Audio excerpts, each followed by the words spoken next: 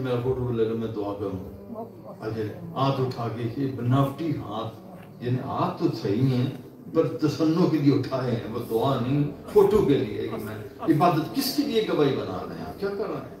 वहाँ खड़े होके मुआजे शिख समझे मेरा फ़ोटो बना लो कोई इधर से बना रहा, कोई बना रहा। क्या ये सल्फियाँ बनाने के लिए चाहते हैं?